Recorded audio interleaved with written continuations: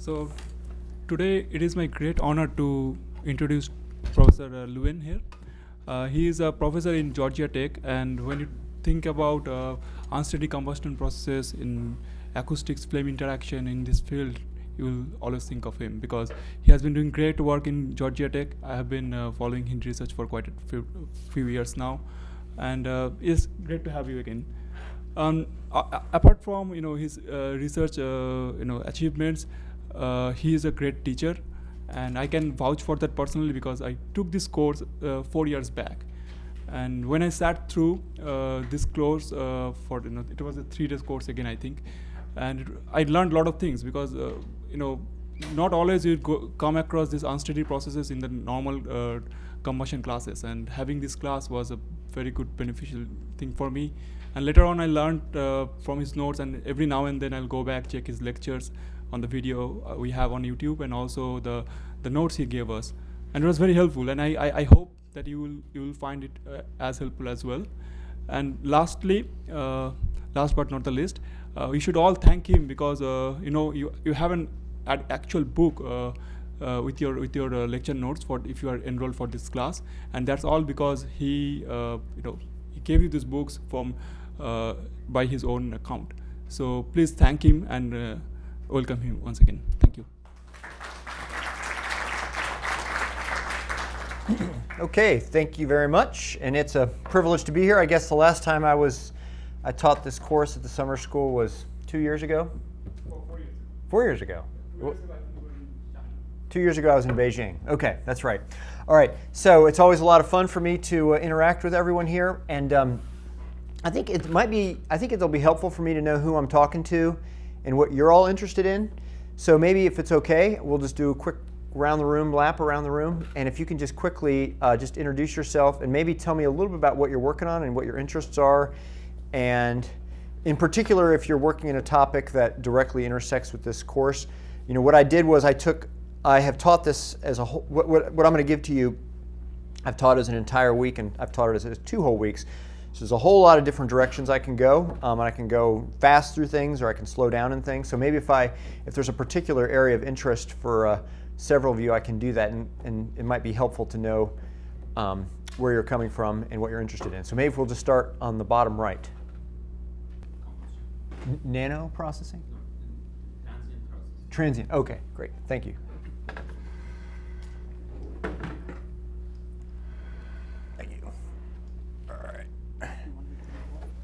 Oh, bummer.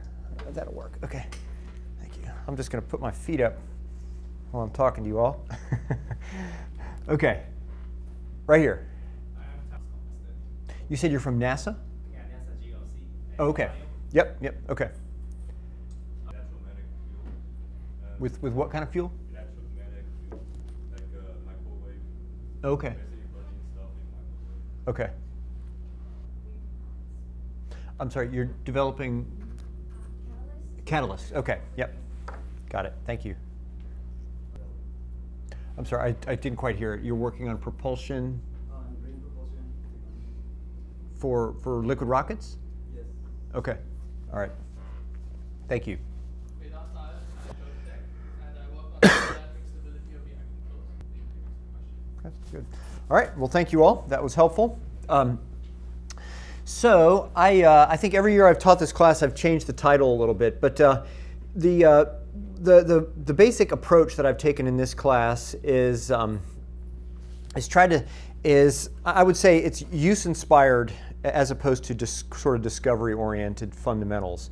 So in other words, a lot of the work that I do is on flowing combustion systems, whether those are rockets or gas turbines or furnaces.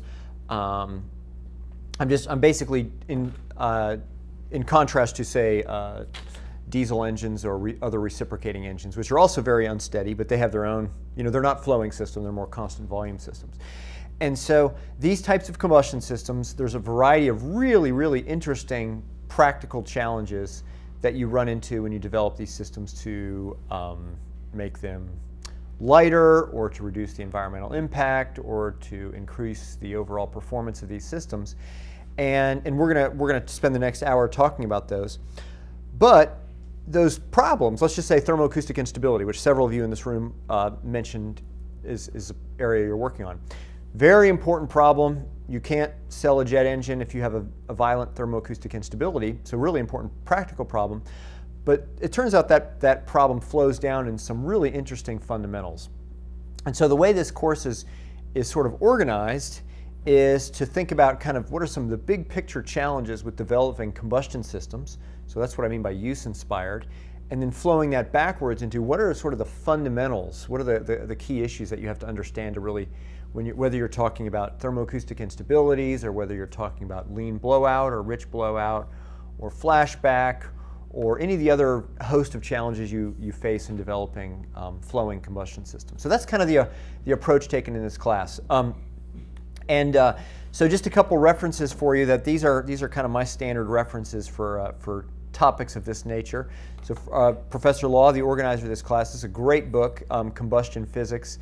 And um, and then, uh, so the book that, that, I think you all, did you all get a copy of, of this book? So Unsteady Combustor Physics, the idea was, you'll notice that I, I actually, this is called Combustion Physics. This book is called Combustor Physics, and the title that was very intentional. The idea was, what are the physics associated with a system, a combustor system? You know, combustion is one process inside of a combustor. You know, there's a lot of fluid mechanics that goes on inside of a combustor. There's a lot of acoustics that goes on inside of a combustor which interact with combustion. And so you can sort of think of, of this book as trying to take combustion physics and then flowing and then saying what, what new physics happens when you actually put that inside of a system uh, where you have new system dynamics that doesn't appear when it's in isolation. Um, so this is a nice book too as well. A number of you, I think probably a third of you, I, th I think, are working on gas turbine problems. so this is a, a pretty applied book.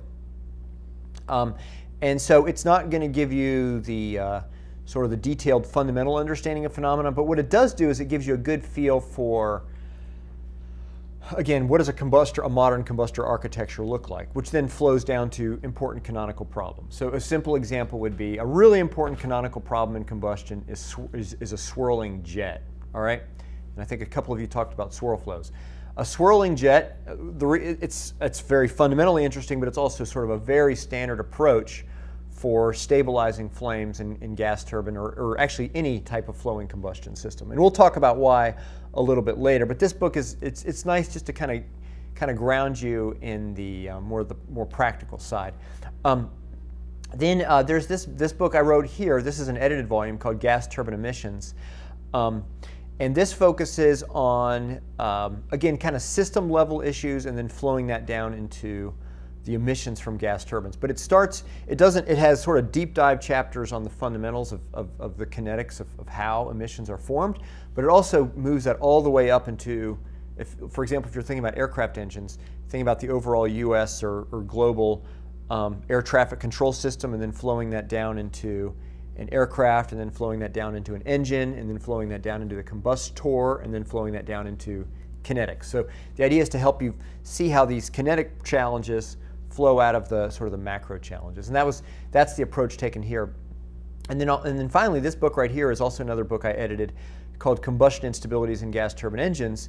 Similar approach. And, and this is completely focused on thermoacoustic instabilities which we'll get into a little bit later, but it's one of the most significant challenges in flowing in low NOx combustion systems. Um, and so it has case studies from people who actually design gas turbines, but it also has very, very fundamental chapters on how flames and acoustic waves interact and hydrodynamic instabilities and things like that. So this is our, uh, our course outline. So i um, there's a lot to go over. And like I said, I've actually delivered this same course in two weeks, and we're going to do it here in three days three half days. So um, there's a lot I can and cannot cover, but this is basically the idea.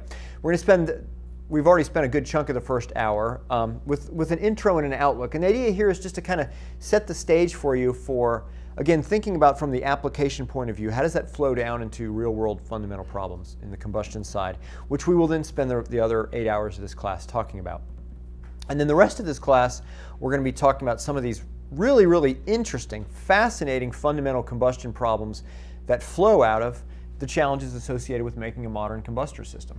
So for example, um, this uh, out, uh, topic B, flame aerodynamics and flashback. Flame aerodynamics, um, how many of you are familiar with that phrase? Okay, so you've probably heard the word aerodynamics, um, but flame aerodynamics, you'll see it in some older literature, but it's a really interesting topic, and it's really a fluid mechanics. It's really a fluid mechanics question, and, and basically the question is, in a flow with really strong density gradients, how does that affect the fluid mechanics? So there's really the question is not you're not even thinking about kinetics uh, there, but just the whole idea is, you know, just like if, if you have um, high speed flows and you have shock waves. Obviously, when you have shock waves, those can cause strong refraction of the flow. They can bend the flow. Um, but what's interesting about the combustion application, um, at least the subsonic combustion application, is the flow can feel the flame well upstream of the flame.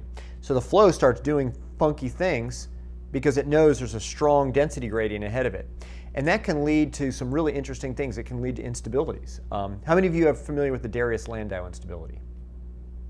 Um, so the Darrieus-Landau instability is a classic instability which says that if you take a premixed flame, it, you can't have a flat premixed flame with a constant burning velocity. So if you take a premixed flame that propagates with a constant flame speed, it's impossible for that flame to just stay flat. It will spontaneously develop wrinkles of its own. And the reason for that is has nothing to do with kinetics. It has exclusively to do with flame aerodynamics, is the fact that if you develop a wrinkle on a flame, that changes the approach flow. In fact, it decelerates the approach flow so the flame can propagate faster, which decelerates the flow more, and so forth. So that's a simple example of flame aerodynamics. We're going to talk about flame aerodynamics because if you want to understand a, a thing like flashback, so how many of you have, have learned about flashback? So flashback is this classic topic. Um, you know, Lewis and von Elbe's book, Professor Law's book, Steve Turns' book, they all talk about flashback. But really, most of those treatments implicitly are isothermal treatments. So they don't, they don't really talk about the fact that because there's a strong gas expansion across the flame, you can't just impose a flame position, that the flame and the flow sort of mutually decide where the flame is going to sit and then what the corresponding flow will going to be. It's strongly coupled because of the gas expansion. Um, and what that does is it adds some new, some new physics to the problem. So one of the things I'll show you, for example, is, is that flames can cause boundary layer separation. So in fact, the, the, the density gradient across a flame causes a, an adverse pressure gradient. So you, you, you, may all know from shear flow that when you have an adverse pressure gradient in a boundary layer, it causes, bound, it causes a boundary layer separation. Um, And, uh, but flames can give you that adverse pressure gradient. And so a flame can actually separate a boundary layer in front of it. And as soon as the boundary layer separates, you get a low speed flow so the flame can propagate farther upstream. So that's another example sort of of why flame aerodynamics matters. Another, I'll give you one more example and then I'll move on. Swirl flows. Uh, really, really interesting fluid mechanics and swirl flows. Super complicated. You know, I always I, I talk to uh, people who design these things, and I and I always tell them, you know, if if you guys wanted to design the most complicated flow field that nobody understands, you, you succeeded. it's, uh, you know, because swirling, even isothermal swirl flow dynamics is very, very much an open, an open topic. Um, and, and even today, we really lack what I would call a taxonomy for categorizing and understanding the dynamics of flows where, and by the way, swirl means when the flow has a strong azimuthal component. Once you start to have an azimuthal velocity that's on the order of the axial velocity, which is what you have in, in gas turbine combustors, you get some really, really interesting fluid mechanics. And we'll talk about that later. But those, but then you start adding a flame to that. The flame gives you this monster gas expansion acceleration right through it. That totally changes the flow field. I mean, it turns a dog into a cat, so to speak. You know, you, you, you have a flow field which is kind of one thing. When you add a pop a flame into it, the strong gas expansion, can fundamentally change the, the, nature of the flow field. And you can get some really interesting new things. And, and the whole idea is, is if you just think about the fluid mechanics or if you just think about the flame, you'll miss it. You got to have the two together, that coupling. So that's what flame aerodynamics means. Um, and uh, anyway, it's you won't like I said you'll you'll you won't see this word in a lot of modern textbooks, but it's I just I just want to kind of sort of open your eyes to how interesting and important it is. But again, it's really fluid mechanics but fluid mechanics and flows with strong density gradients. Um, so, um, okay, so that's that. Um, then we'll talk about, we'll spend a little bit of time talking about internal flame structure. So we're going to talk a lot about flame stretch and the response of flames to inhomogeneities in, in the flow. So for example, if you have a turbulent flow, how does that change the flame structure? How does that change the, the, the burning rate of the flame? What happens if a flame has an edge? Um, so a lot of the, the, um, the, the canonical analyses you, you will see in most books assumes that the flame is continuous, which is fine except for where the flame is stabilized, right? So if you take a Bunsen flame, the Bunsen flame is a beginning, right, at the edge. And at that beginning point, the gradients along the flame are just as sharp as the gradients normal to the flame. So all those flamelet hypotheses that kind of go into classic flamelet assumption analyses just goes out the window. Because really a, a key implicit assumption of flamelet analyses is, is that the strongest gradients are normal to the flame, not transverse to the flame. Edge flames, it's a whole different animal. Um, and you can get some you can get some new phenomenon. And uh, so why are we going to talk about these? Because we want to talk about uh, so sort of the motivating idea is flame stabilization. Why is it that flames stabilize? What causes them to blow off? What causes them to stabilize? And a key piece of that is whenever you have a flame being stabilized, it's in a low velocity region because the flow velocities are much higher than the flame speed, but it's also in a region of very high shear, very high shear. And high shear um, will almost always lead to high flame stretch, and it will also lead to, because, because the flame starts at the stabilization point, it means you have an edge flame there. So I want to talk about that. Um, so then what we're going to talk about in D and E is a different topic. So this is flashback and flame stabilization, a really sort of limit phenomenon for combustion, and they're really transient phenomenon. You know, the flame's there, and pop, the flame's gone. Uh, what I want to talk about in D and E is um, sort of disturbances, sort of time harmonic disturbances, or even uh, stochastic disturbances in reacting flows. And so in section D, what we're going to talk is just very generically about disturbances in reacting flows. And in particular, what I want to show you there is that there's three sort of canonical types of disturbances in reacting flows. Um, and those three are um, vortical disturbances, which is, if you've taken a turbulence class, really turbulence is the study of how vortical disturbances interact with each other. With the, um, there are acoustic disturbances, which are disturbances that propagate with the speed of sound. And there are entropy disturbances. And those three are, you, you, and I'll show you that you can have acoustic mode, vortical mode, and entropy mode. And a lot of problems in um, gas dynamics and combustion and aeroacoustics sort of are one subset of that. Um, but in particular, sort of the interaction of flames and acoustic waves is, is a really, um, again, it's a really rich topic. It's what leads to the whole issue of thermoacoustic instabilities which leads me to E, which is how do flames respond when you disturb them? Um, so you have probably talked about this before if you've taken a turbulent combustion class. Turbulent combustion is really how do flames respond when you disturb them with stochastic Navier-Stokes turbulence, right? Um, what's, what's the response? And in particular, how does the time average burning rate change? That's really the fundamental question in turbulent combustion is what's the sensitivity of the time average burning rate to um, stochastic disturbances.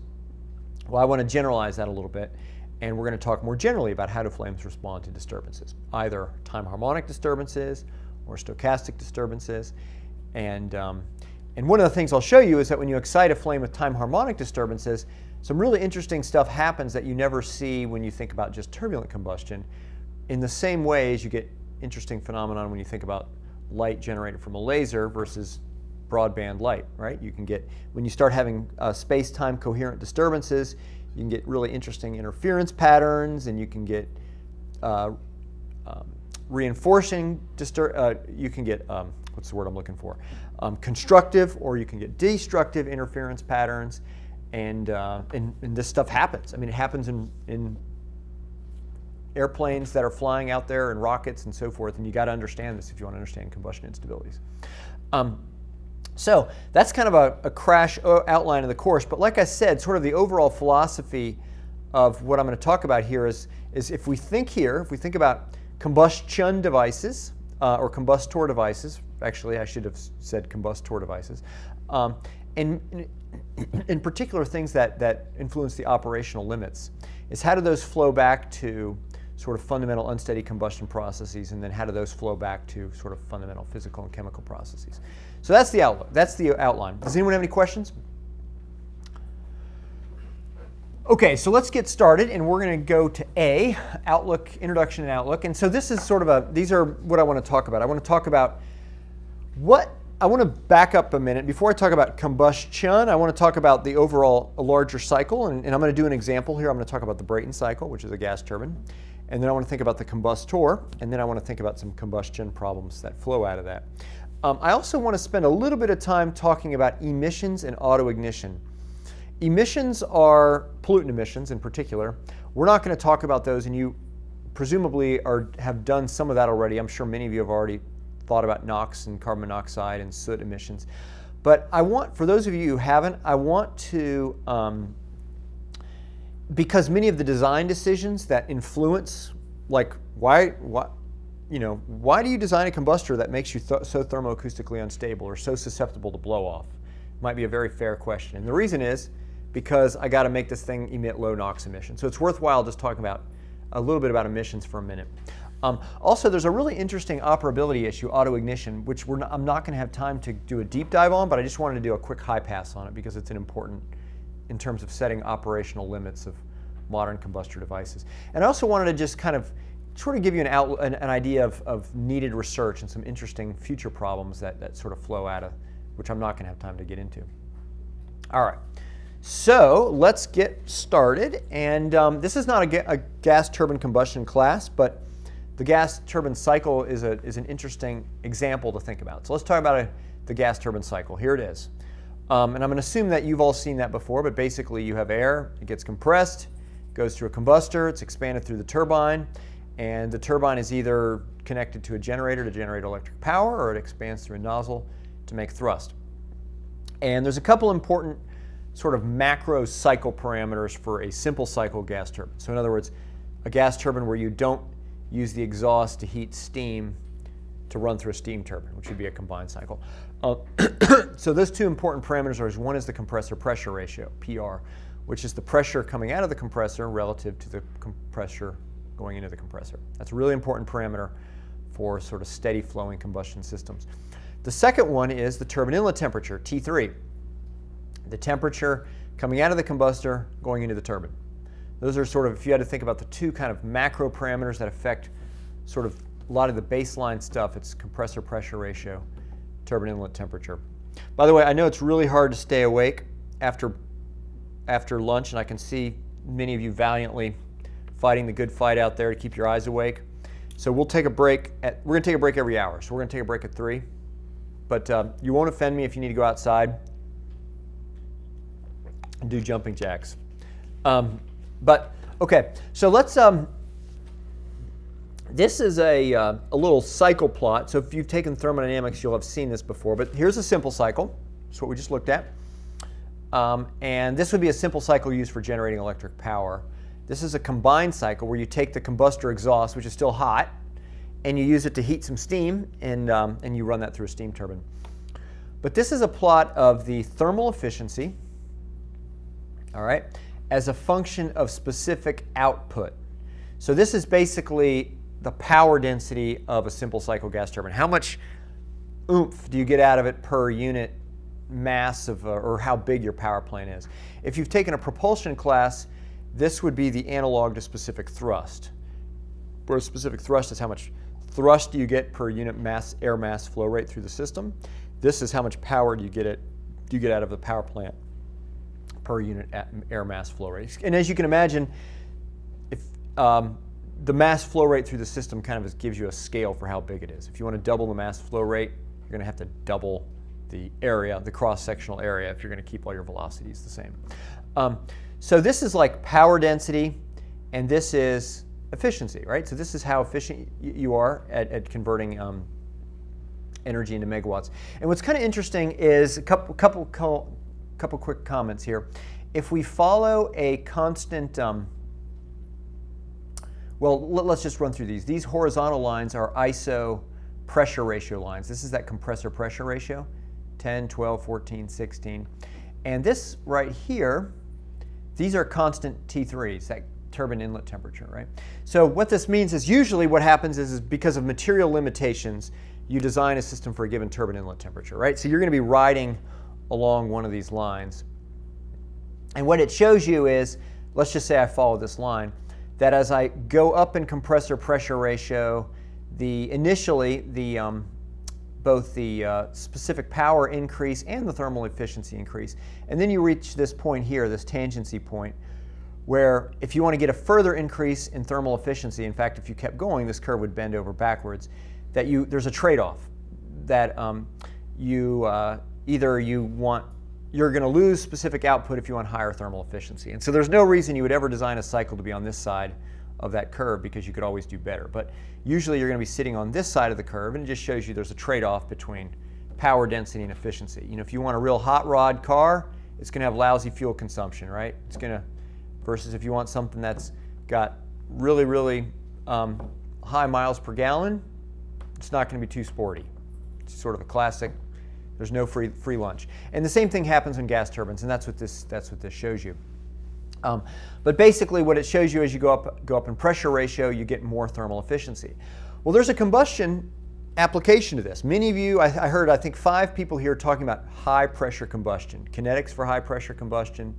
Over here, somebody's doing supercritical laminar flame speed measurements, um, laser diagnostics in optically dense environments. Why do we care about high pressure combustion? Well, because if you want to get higher miles per gallon, if you want to get higher um, thermal efficiency, if you want to get higher um, sort of metrics around fuel burn, you need to go to higher pressure. Right? So a modern aircraft engine is running at pressure ratios of around 55, 55 bars, right? Modern aircraft engine, the temperature going into the combustor, the cold air going into the combustor can be 1100 F, even future cycles 1400 degrees Fahrenheit. That's really, really hot. That's the cold air. So the cooling air in a modern aircraft engine, if you think about it, if you ever go to California Pizza Kitchen or something where they have the pizza oven and there's the bricks and there's the pizza back there, that's the temperature of the cooling air for a simple cycle gas turbine. So you'd say, what kind of contorted person would call that cooling air? Um, and it's just, it just goes back to the fact that you know you want higher thermal efficiency, you're going to go up in pressure and you're going to go up in temperature. So this sets a very, very interesting combustion challenge is high pressure combustion. What are the kinetics? How do you make measurements in these optically dense environments? It's a pain in the neck. How do you put windows that, you know, when you ignite your combustor, you don't blast the windows? How many of you running high pressure combustors have broke your windows?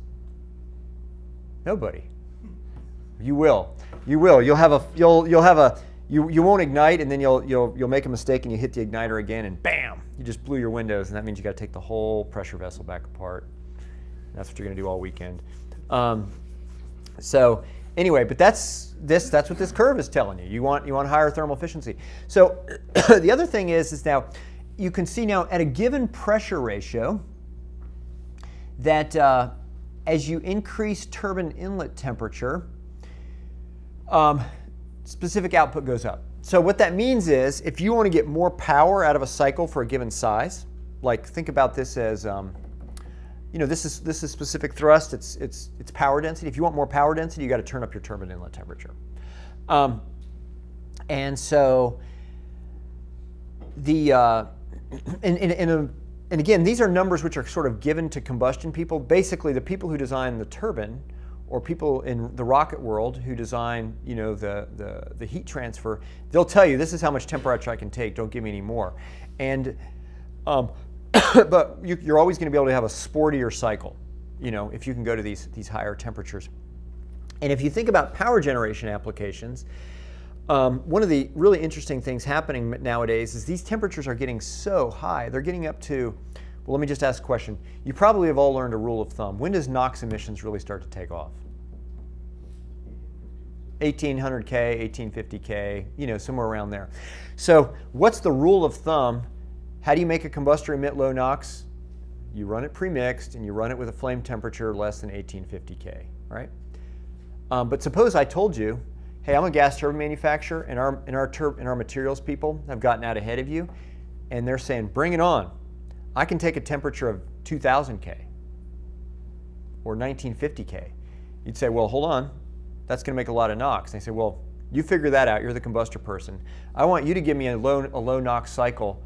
I, I want this combustor to stay within all the emission specs, but I need you to run at a temperature of 1950 or 2000K. That's an interesting combustion problem, right? And that's where the world is heading um, because the materials and turbine people are incredible. You know, they can take something that's spinning super fast and can take 2000 degree Kelvin, 30, what is that, 3100 F. That's really hot, 3100 F degree gas, and they can blast it at it. So that's a really exciting new combustion challenge for those of us who do combustion because there was a time where 1800K was fine. And the, and the whole this job of a combustor designer was to say, you know what, I just got to make, just do really good premixing. So I don't have any hot spots, so my temperature always stays below 1800 or 1850K. But now it's like, nope, I need, I want that temperature to be 1950. Um, and actually, we'll talk about the reasons a little bit more next. So this is a simple cycle. If you come down here, this is a combined cycle. Um, and the world changes a little bit when you go to a combined cycle. Same plot, thermal efficiency, power output. Two things you'll notice. First of all, notice these thermal efficiencies are, you know, at least for this pressure ratio of 10 to 16, is in the 30%. And, and by the way, just to calibrate you, sort of a state-of-the-art power plant today, if it's a big, heavy frame gas turbine used for power generation, compressor ratio would be between 15 and 20. If it's an, what's called an aeroderivative, which would be a aircraft engine that's bolted to the ground with a generator, it might be 40 or 50 to 1. If it's a modern aircraft engine, it might be 55 to 1. Um, come down here, notice these thermal efficiencies are a good bit higher, and that's because what you're doing is you're capturing some of the, the enthalpy in the exhaust stream, that, that hot exhaust. And so it's more expensive because you got to you got to have a, this big heat recovery steam generator and you have a steam turbine, but you make up for it and it, you can get more power with the same amount of fuel. So you have more capital cost, but less fuel cost. Um, what you can see here is um, these. No, notice how the lines sort of flip. These the constant turbine inlet temperature lines are sort of vertical. Here they're more horizontal. 2100, 2140. So these are constant turbine inlet temperature lines. These are constant pressure ratio lines. And now notice what's happened here is now as you go up in turbine inlet temperature, you're actually going to higher cycle efficiency for a combined cycle.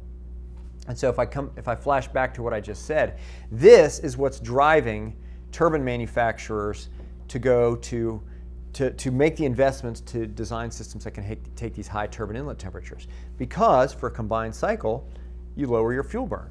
And you can reduce it by a lot. And so let's suppose that you're a power plant that's spending a million dollars a day on natural gas, which might be a, a real number for a big power plant. Uh, a million dollars a day, that's a lot of money, right? If I can save you 1%, uh, if I can re reduce your fuel cost by 1%, what's, a mil what's 1% of a million? That's $10,000 a day, right? And there's 365 days in a year. So let's see, 365 times 10,000 is $3.6 million in fuel savings per power plant, right?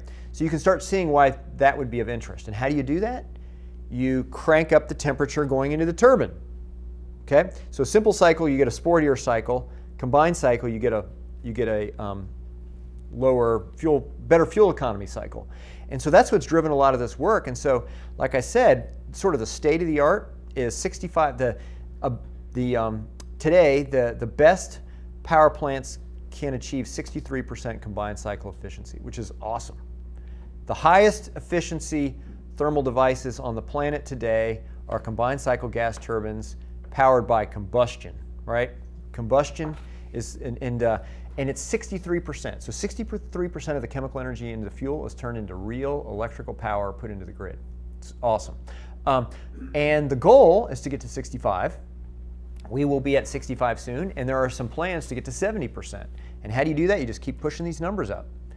And so again, this for those of you doing combustion, it means, hey, that pressure vessel you made, that's really cool, but I want you to go to higher pressure and I want you to go to higher temperature. So lots of really interesting combustion physics problems there.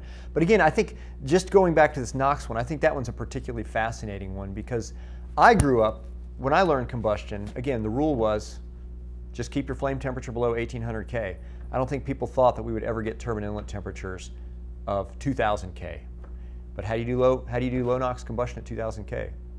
How do you shut down Zeldovich is the question.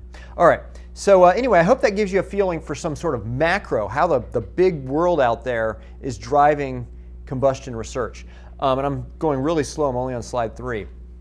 Um, but let's talk a little bit about the combustor now. Um, so how does the combustor fit within this larger energy system? So we've talked about sort of two boundary conditions which are given on the combustor, right? One's pressure, just you just go make it work. Give me give me a, a cycle, you know, run it 50 bar, uh, run it you know, a flame temperature of, of, of 3100 F.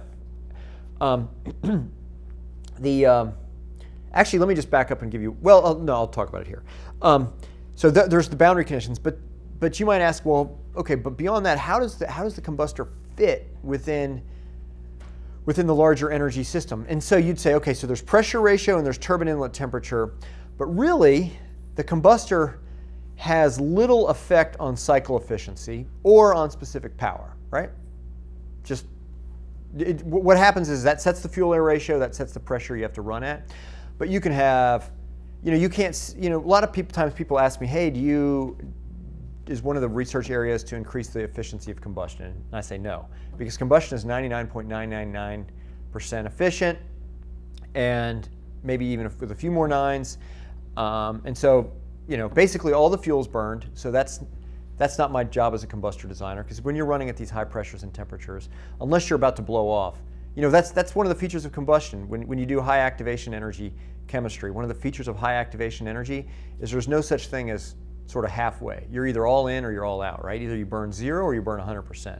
That's another way of saying what high activation chemistry means. Um, and combustion is high activation high activation energy chemistry. Um, and uh, where was I going? I lost my thread. Um, nuts. It was really important, really thoughtful. Um, so um, the combustor has little effect on cycle efficiency. And I'm only 45. I shouldn't be having senior moments, but I'm having one right now. Um, um, okay, well, anyway, we'll just keep going. Oh, yeah, I know what I was going to say. So I was talking about how, okay, so, you know, the job of, of a combustor designer is not to make a more efficient combustor because it's already basically 100% unless the flame just blew out the back end, right? The other job of a combustor designer really is not to, well, the, okay, the other, the, the one influence of the combustor on the overall cycle efficiency is the combustor pressure drop. So if you've taken a, a cycle class, you may remember you add these eta terms or these R terms. And so, okay, so you have a 4% combustor pressure drop. And so where does that combustor pressure drop come from? Well, part of it's you can't do anything about because whenever you add heat to a flow, you have a stagnation pressure loss. That's just life, right? Um, and there's nothing you can do about it. But there is a source of, of pressure loss due to flame stabilization, right? So when you stick a Bluff body in a combustor flow, you do that on purpose because you need the flow to separate because you need a low velocity region. And that gives you a, a, a pressure loss. So you know, you can affect, the combustor may have a 1% influence on overall cycle efficiency because of the fact that you got to stabilize the flame and because of the combustor pressure drop. So that's, that's, that's you know, that's, that's life. Um, but sort of from a, an order one point of view, the combustor doesn't really have an effect on cycle efficiency. But where the combustor matters is it has really important effects on other things. So um, I'll give you an example here. And, and the first one I'll say is the realizability of certain cycles. So example, I'm, I'm not from the southern part of the United States, but I've lived in the southern part of the United States, Atlanta, and um, I've picked up, or at least I've been observer of certain southern euphemisms, and one of them is when mama's not happy, nobody's happy. Has anybody ever heard that one before? It probably translates into other languages. So if, if any of you have a mother, you'll know what I'm talking about. Um, when mama's not happy, nobody's happy. So the translation of that to gas turbine combustor is when the combustor's pissed, nobody's happy, right? So in other words, when the combustor blows out, guess what? I flew here from Atlanta and you can say the combustor has little effect on cycle parameters, but when the combustor blows out, that's bad, right? If the combustor doesn't relight, I'm in big trouble, right? So that's a simple example, right? So in many cases, the combustor sets sort of operational boundaries, sort of where you can and can't go. Sort of the most severe being being blowout, right? Is that you can only do certain things, you can only accelerate or decelerate at certain speeds. Uh, you have to be real careful as you go up in, in, altitude because pressures are dropping and kinetics slows down. Um, if you start looking at alternative fuels, you start really monkeying with blowout limits and things like that. So that's one simple example. Another example would be um, steam addition. So this is a common, steam or water addition, this is a common strategy or EGR means exhaust gas recirculation, so recirculating the exhaust back into the inlet. Um, and that's, that's a concept for reducing CO2, for, for, for generating cycles where you can capture the CO2. But you can only add so much steam to your, to your combustor before the combustor starts getting close to blowout and carbon monoxide emissions start to take off. And, there, and, and so steam addition has been used for, um, uh, in particular in, in certain cycles as a way to get low NOx without lean premixing. Um, so that, that would be an example of that. So I talked about, uh, another would be engine operational limits, and I just talked about that. Uh, so blowout limits, oftentimes you'll have certain regions where you have really high thermoacoustic instabilities, and so you can't operate there. Um, in many cases, the combustor may set the transient response. So for example, a modern aircraft engine, the decel rate, the rate at which you can slow the engine down, is set by the combustor. Um, and the reason for that is if you, um, and obviously there's a control system in the background that's, that's moderating what the pilot does. But suppose the pilot said, you know what, I want half power. Let me just pull back my fuel uh, by 50%. Well, there's sort of two time constants. One is the time constant of your fuel system. And the time constant of the fuel system is really fast. So if you tell those fuel injectors, cut the fuel by 50%, almost instantly, they're going to drop fuel flow rate by 50%.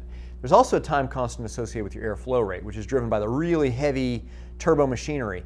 Well, when, you, when the thing settles down into a new steady state, RPMs will drop, if, if, assuming it's not a, if it's an aircraft engine, air mass flow rate's going to drop. But if you just do a throttle chop, what you've just done is you've dropped your fuel air ratio by a factor of two.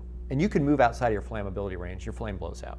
So what you have to do is you have to dial down the fuel air ratio slowly such that the air, basically you have to make sure that you're matching the time constant of your air system because your fuel system's so fast. So that's a simple example of the how the transient response, and the same thing happens with going forward, right? You say hit the gas, so you want to you want three times the power. If you just blow three times as much fuel into the system, you could you could easily have a rich blowout.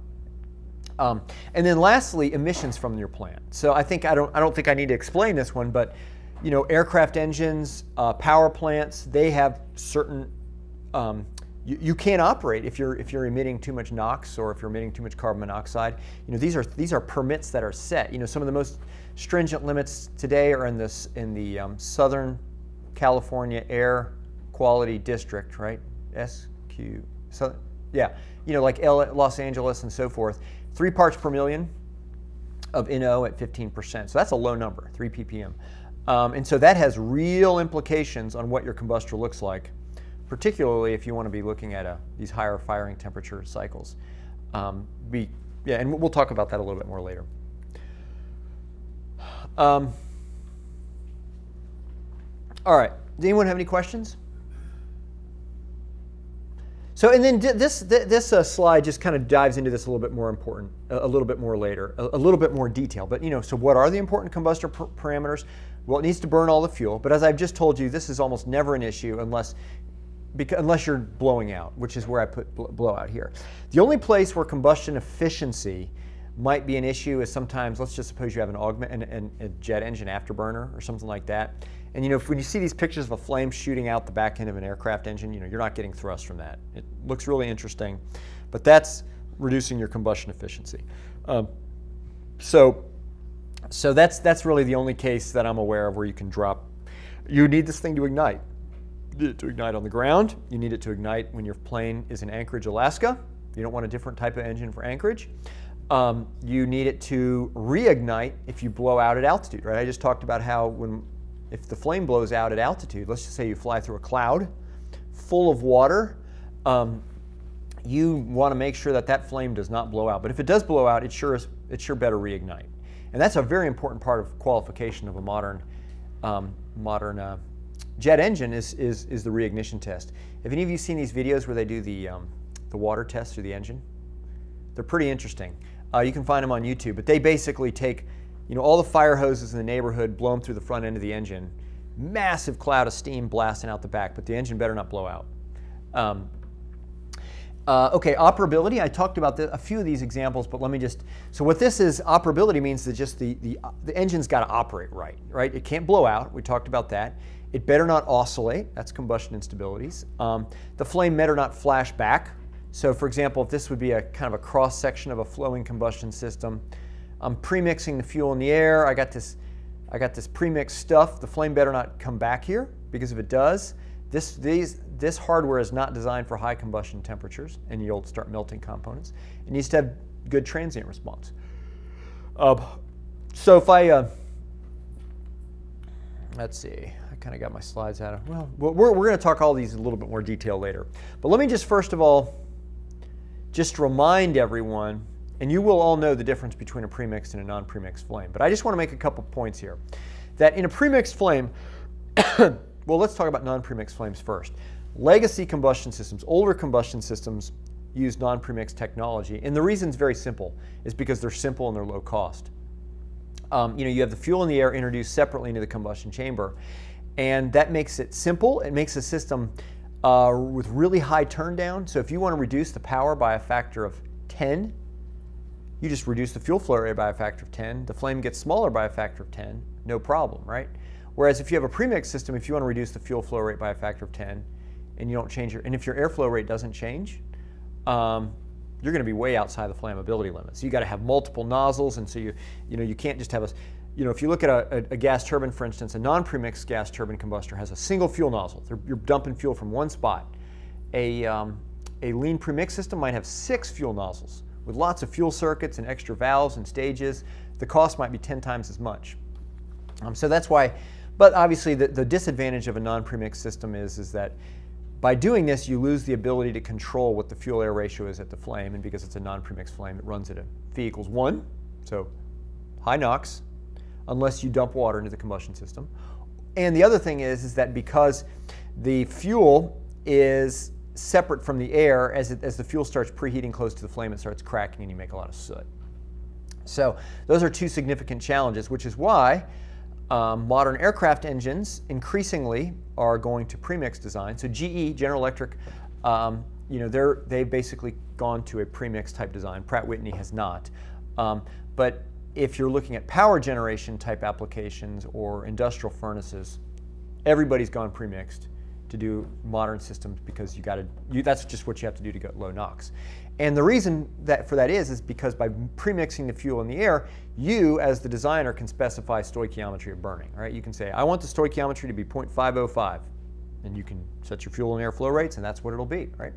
Um, so, but um, now, if we think about, let, us just talk about that for a minute more then. What that means about how you actually design these systems. So this would be a cross section of a non-premix system. So if you think about, let's just let's just think about a, a, an aircraft engine or a power plant. Your your turbine inlet temperature is given to you. That's a boundary condition, right? Um, so this temperature coming out of the combustion chamber, this is sort of specified. And so you have a you have a global fuel air ratio, which is going to, and your global fuel air ratio is what's going to give you your turbine inlet temperature. But really important to differentiate the global fuel air ratio from the local one. Um, so what happens in a non-premix system is, is that only a small fraction of the air, maybe 30%, comes through the front end, and the fuel and the air mix, and you get this, this hot, very stable, really sooty primary zone. And then the rest of the air comes in downstream. And so if this is a plot of temperature versus downstream distance, here is the temperature dropping as a function of downstream distance till you reach the turbine inlet temperature. And this would be your flame temperature here. This would be your turbine inlet temperature. And um, well, what this means is, is that in a non-premix combustor, looks is basically a piece of pipe with a whole bunch of holes in it. All right. So, and that is an acoustic muffler. So if you think, of, if any of you ride a motorcycle and you think about what does the, motor, the muffler on your motorcycle look like, it's a straight piece of pipe with lots of holes punched into it. And it turns out, I won't get into it, that having those holes in a pipe are really, really effective acoustic dampers.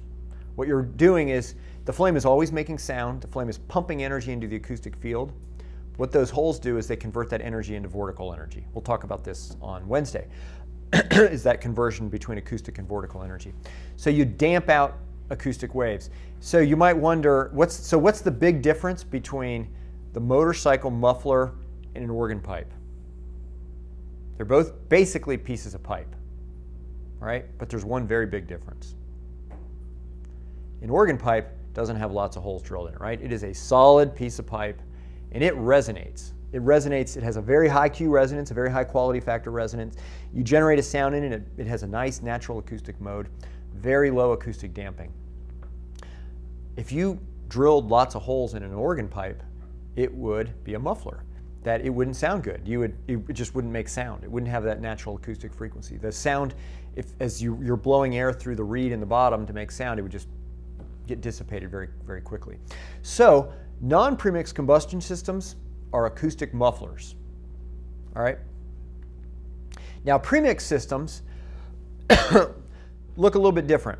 This is that same plot, temperature versus downstream distance. So this is the temperature profile in a non-premix system. And um, in, a, in a premix system, what you do is you're trying to avoid that, that, that overshoot of temperature, right? That overshoot of temperature is what's making NOx. Um, and, the and the way you do that is, is that you premix, but in order to get to your, you, so you, you don't want an elevated temperature, right? So what you want this profile to be as flat as you can. So if this is your turbine inlet temperature, you would like to design it such that your flame temperature is at your turbine inlet temperature, right? Well, what does that mean? The limit is, is you want every bit of air going through the front end of the combustion system, all right? Every bit of air. You don't want any air coming downstream. Um, and in reality, you need a little bit of air that for cooling, for film cooling on the walls, which is why this curve drops a tiny bit. So what do you think? If I, if I, what do you, what do you think that might look like acoustically? A premix combustor. If all the air is going through the front, I'm not adding any air downstream. Like an organ pipe, yeah. So that's the difference. A premix combustors are organ pipes, non-premix combustors are mufflers. So this is why I think a number of you are working on thermoacoustic instabilities. Um, if you're working on thermoacoustic instabilities for energy applications, that's why. Is because flames are always making sound, they're pumping energy into the acoustic field, but you're doing it in a resonator in a premix system, and so you get massive vibrations, huge oscillations, they destroy everything, they break stuff, they take metal and send it through the turbine. Never any good to throw metal through the turbine of a, combust- of a, of a gas turbine. Um, but that's why. So again, I hope I'm helping you understand these fundamental problems, how they flow from sort of macro real world issues. Um, all right, I'm going too slow. So it's 3 o'clock. Why don't we uh, take a break? 15 minutes. We'll reconvene at 3.15. All right, thank you.